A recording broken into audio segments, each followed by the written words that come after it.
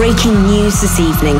Police are trying to break up an illegal rave in central London that has already taken place for over five hours. The so-called hard style rave in a disused warehouse has drawn a crowd of up to 500 people who say they are simply making use of empty space to express their music. Music. music. Cut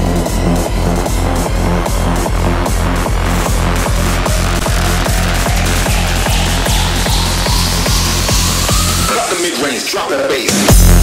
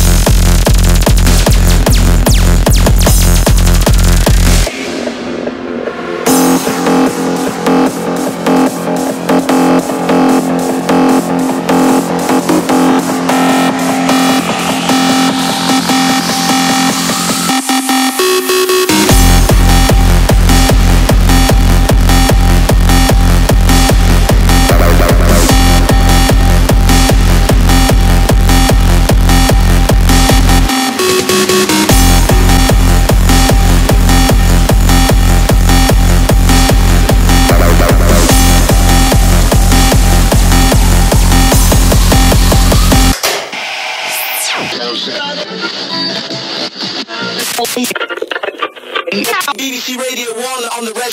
them as we achieve Warp 4. The housing needs hard style.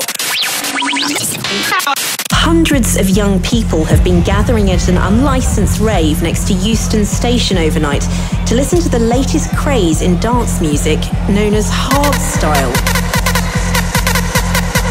With an increasing crowd, now over 1,000 neon ravers strong, the party looks set to continue well into the early hours of the morning. morning. morning. morning.